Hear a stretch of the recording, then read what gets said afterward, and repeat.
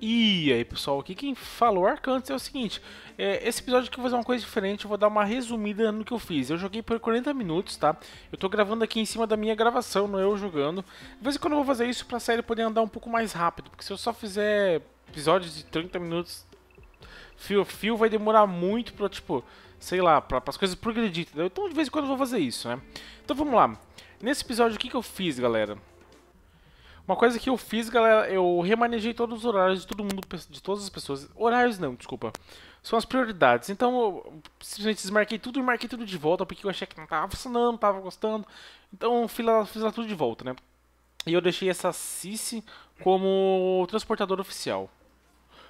Outra coisa, galera, que eu percebi também, na real, eu nem vi isso acontecer, mas depois que eu vi, tinha dois filhotes de, de Husky. No caso, a nossa Husky ela tava grávida e ela deu cria, eu nem percebi, cara.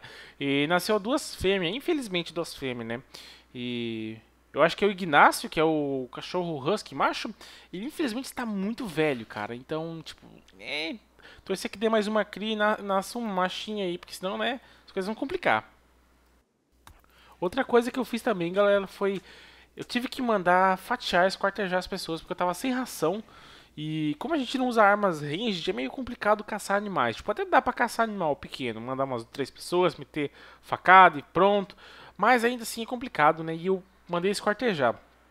Infelizmente, o, quem cuidou dessa tarefa teve que ser o, o Mr. Vini. Eu não tô conseguindo ver direito aqui, mas eu acho que é o Mr. Vini.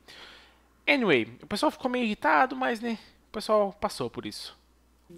Outra coisa que aconteceu, galera, uma praga pegou nessas plantações e a gente perdeu todas as plantações. Não todas, mas a maioria. O milho ele tava quase dando colheita e a gente teve essa maldita praga. Mas o pior de tudo eu acho que foi o remédio, na minha opinião, cara. Porque a gente tá gastando muito remédio nessa colônia aqui e perder os remédios por causa de uma praga é bem chato, velho. Outra coisa que eu fiz também, galera, foi tirar todas as armas de todas as pessoas ver quem tinha melhor habilidade e equipar com as minhas melhores armas, né? Isso pra simplesmente ter uma eficiência maior nas armas, né? Eu dei uma analisada aí, daqui a pouco eu vou mandar, eu acho que o pessoal lá pegar em pouco em pouco. E por fim, galera, eu acho que o fato mais importante que aconteceu no dia, eu decidi comprar um, um escravo, veio um, uma caravana que vendia escravo, eu decidi comprar. Era uma pessoa que ela tinha paixão por várias coisas. Vocês vão ver é, assim que eu começar o gameplay normal desse episódio aqui, o quão foda essa pessoa que a gente comprou em alguns, algumas coisas, né? Tipo, ela tem potencial para ser uma pessoa muito foda, né? E eu, eu, gastei quase tudo que eu tinha. Eu tive que vender algumas coisas com o pessoal, tive que vender alguns remédios que eu vou me arrepender disso, mas eu tive que fazer, né?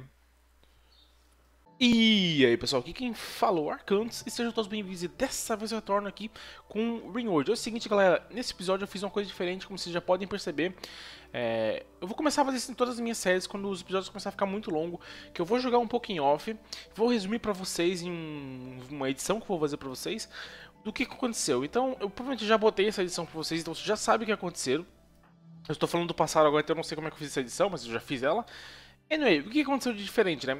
Como eu falei, é, eu não dei rename na Cici ainda, vou dar um rename. E nós compramos a camisa, é uma mulher. A gente comprou desses comerciantes de escravos, a gente vendeu várias coisas para poder comprar ela.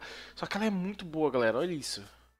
Olha quanta coisa ela tem paixão, velho. Foda demais. E apesar que ela é boa em várias coisas, infelizmente eu tive que colocar ela como cozinheira. Tipo, ela é boa em outras coisas, só que eu preciso de alguém cozinheiro. Até que eu acho outra pessoa como cozinheiro, ela vai virar cozinheiro, né?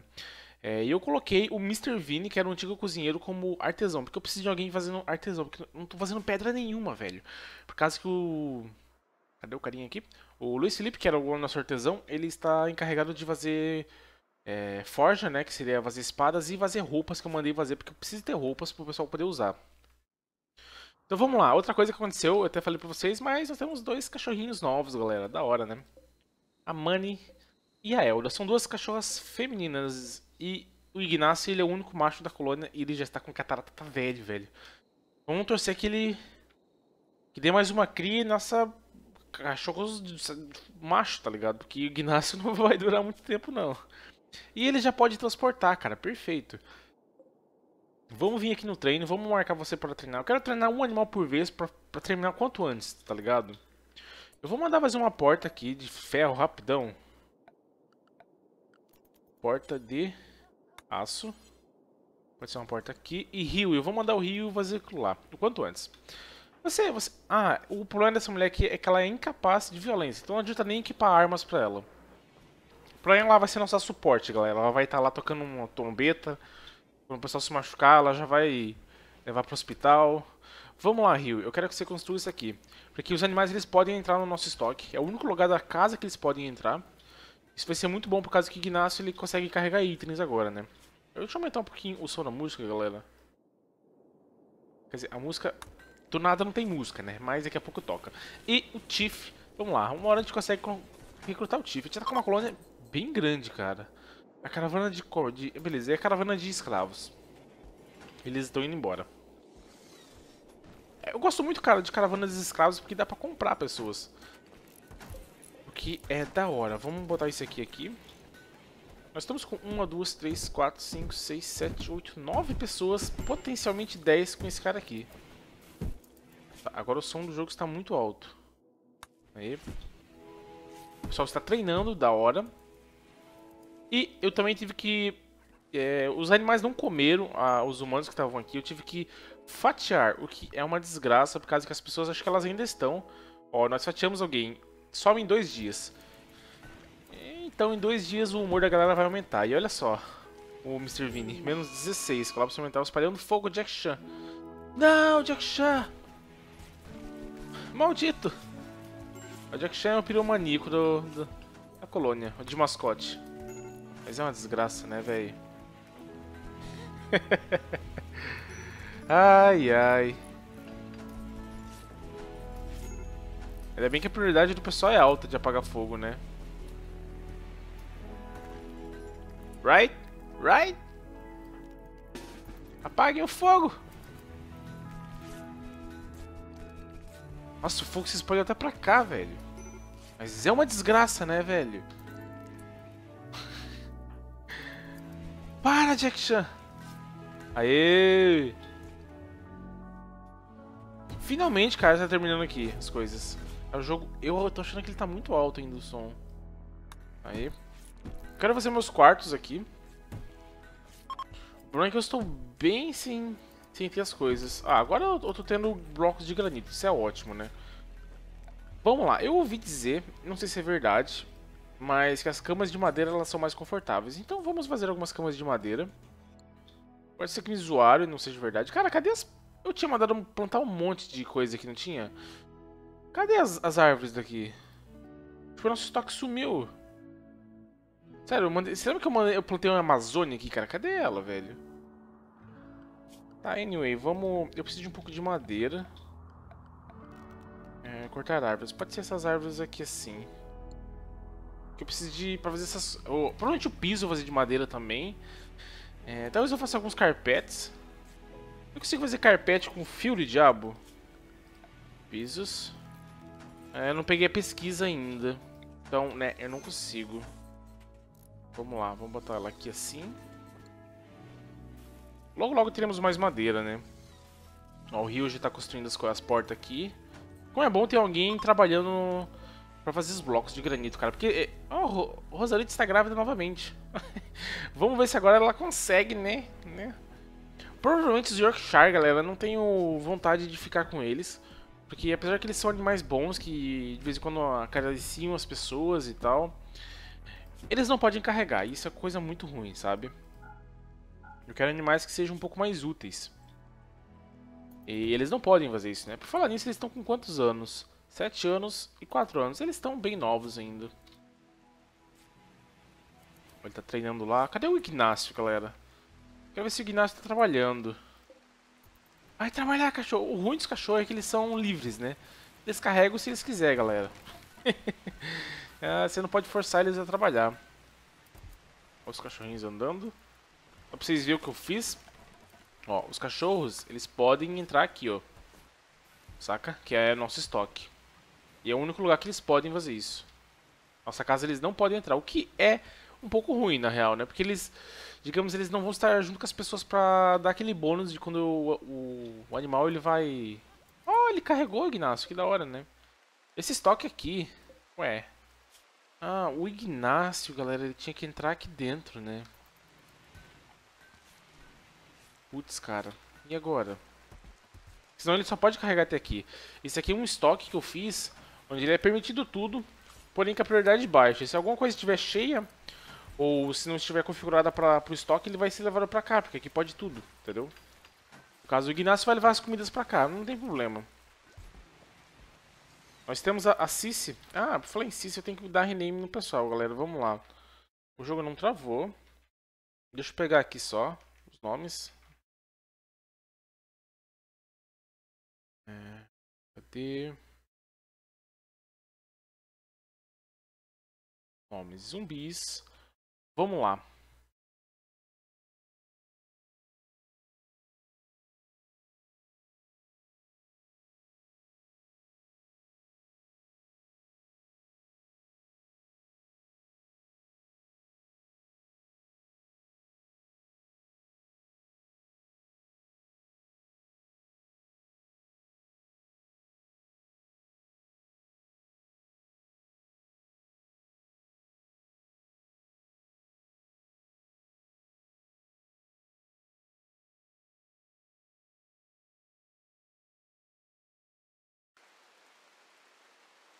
Então vamos lá, pessoal. O nome que eu botei aqui, vamos lá. Cadê? Colocar nome. Vai se chamar Amanda. E você vai se chamar... Cara, esse nome é muito foda, velho. Quem deu o nome acho que foi a mesma pessoa. Atenas, velho. Atenas é um nome muito da hora. Atenas era, era, uma, era, uma, era uma colônia da, da série do Sempre Inverno. Que, infelizmente, spoiler, faleceu, galera. E ela era muito foda, velho, na colônia. É, é, ela faleceu justamente depois que a gente prendeu um daqueles tumbos. Eu fiz a mesma cagada de prender o animal. e aconteceu merda lá, cara. Por isso que eu falei, velho. Sempre que eu não faço isso dá merda. E é o seguinte, eu joguei 40 minutos é, desse resumo que eu fiz pra vocês e eu não fui atacado nenhuma vez. Isso quer dizer que talvez a gente seja atacado nesse episódio aqui. Faz um tempo que eu não sou atacado. É, pra falar em atacado, eu consigo ver mundo, história, aqui ó. Raid. Raid. Eu acho que as raids são meio bugadas, galera. Os últimos 300 dias, tudo. Porque eu não tive só esse de raid, tive bem mais raids. Cápsulas de carga, aonde? Hum, morangos, da hora. Vamos lá. Então, torcer que o Ignacio faça isso, né? É, na real, o Ignacio não pode, né? É verdade. Ele não pode sair. Então, eu acho que os animais que podem carregar... O animal pode transportar ele. Então eu vou colocar como...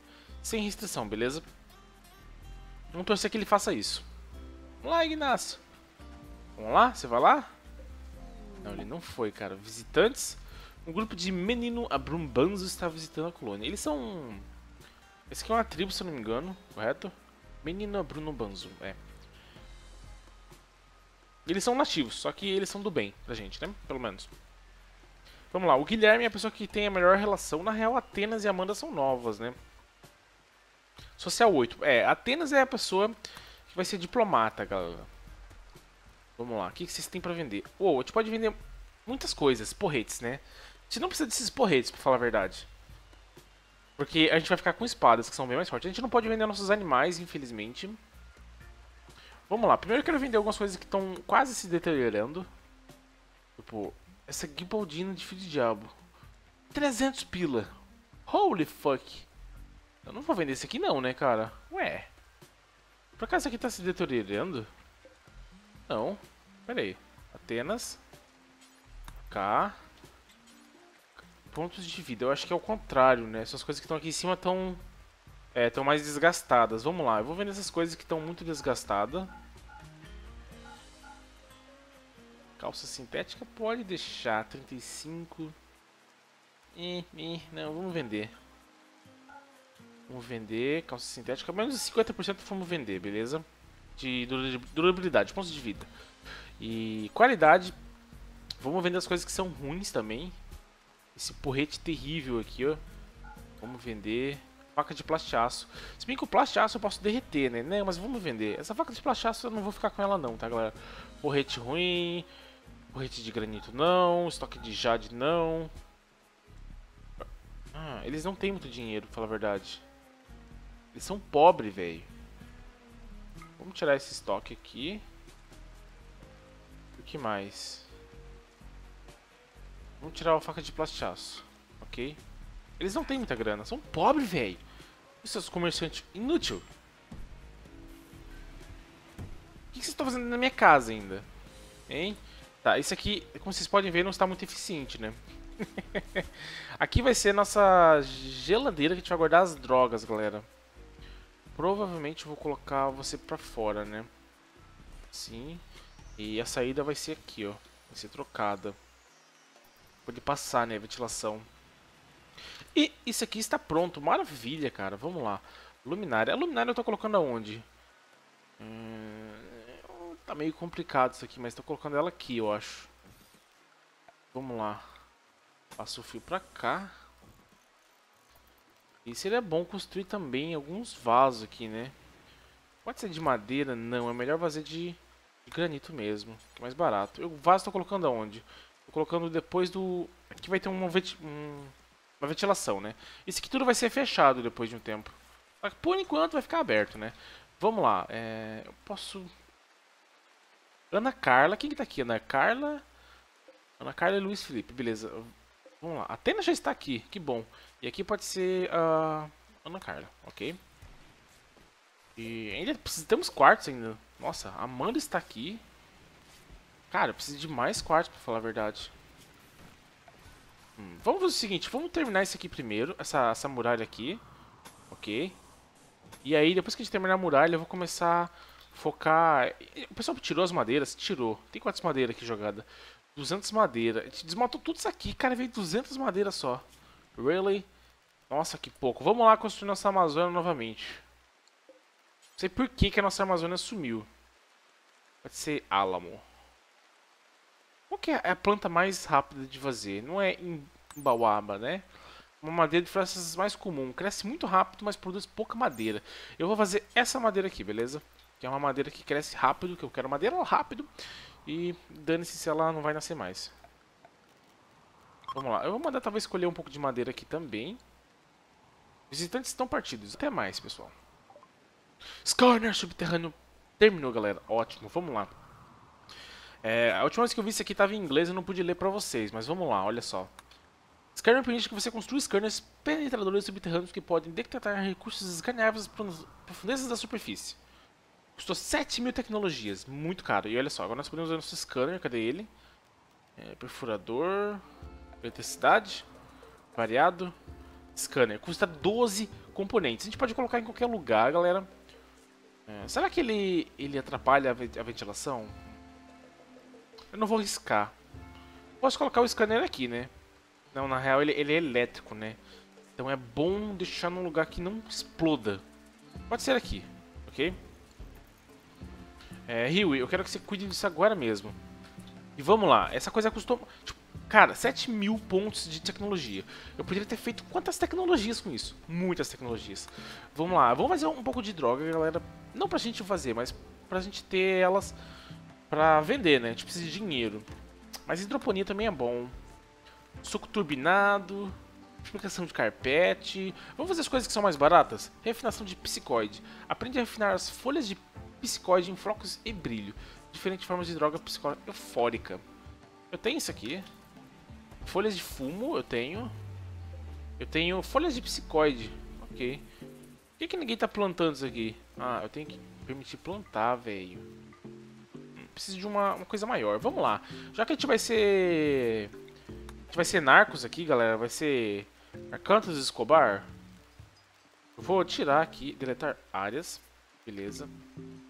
Vamos fazer uma área assim. Uma área um pouco maior, beleza? Vai ficar meio zoado assim? Vai, não tem problema. Vamos lá, algodeiro, capim, raiz medicinal, lúpulo, lúpulo, psicoide, folhas de fumo. Ok? Eu tenho um lúpulo? Eu tenho um lúpulo, na real. Eu não fiz nada de fermentação até agora, mas eu acho que não tenho a tecnologia pra isso. Vamos ver. Ela liberou mais alguma coisa pra gente aqui? Não, né? Não liberou nada mais. Fora isso aqui, né? Olha, já terminou nosso scanner, galera. Olha só. Tá vendo essas coisas assim? Elas são onde tem ferro no, no subsolo. Eu não sei se eu consigo ver o que, que tem aqui. Eu consigo ver exatamente o que, que tem aqui. Eu acho que eu tenho que colocar algo aqui. Eu sei que tem algo aqui, mas eu não sei o que, galera. Vamos lá, vamos colocar... Tem algo aqui também. Mas eu acho que eu não consigo colocar meu bagulho aqui. aqui. Eu consigo secar essa água aqui, tá? É uma parada que me permite secar. Vamos lá, vamos ver o que é isso aqui. Eu coloco essa coisa aqui. Provavelmente vou precisar de um banco aqui também. É, eu vou pegar esse banco aqui e instalar aqui, beleza? Que o pessoal vai ficar sentado aqui mexendo no... É tipo uma mineradora, tá ligado? E o está dormindo agora, não vou incomodar ele. É, vamos fazer mais alguns quartos aqui. Vou fazer mais dois quartos, porque aí eu já fecho essa área aqui, saca? Porta de coisa. E aqui... Aqui vai ter um corredor, correto? Eu vou fazer isso aqui até aqui. Vou botar algumas portas aqui, saca? Só pra gente poder fechar isso aqui de uma vez. É... Oh meu Deus do céu, vamos lá. Aqui assim. E pode ser... Aqui eu tinha combinado... Essa casa tá muito feia. de madeira e granito, cara. Caramba, tá muito feio. Tá, vamos fazer o seguinte, ó. Essa parte aqui... Essa parte aqui eu vou fazer de madeira, ok? Aqui não tem muita madeira, né? Mas vamos lá.